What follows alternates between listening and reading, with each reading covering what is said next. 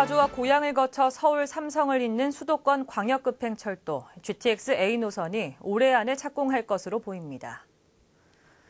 국토교통부는 GTX A 노선에 대한 사업 시행자 지정과 실시 협약이 민간투자사업심의위원회를 통과했다고 밝혔습니다.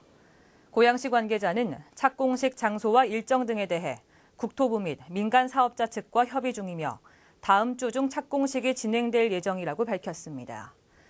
GTX A 노선은 파주 운정에서 고양 킨텍스, 서울 삼성을 거쳐 동탄까지 이어지는 83km 구간으로 2023년 준공을 목표로 하고 있습니다.